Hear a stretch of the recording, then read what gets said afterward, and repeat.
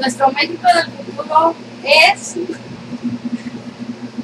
es y quiero que sea mejor en la economía, que haya menos drogadicción,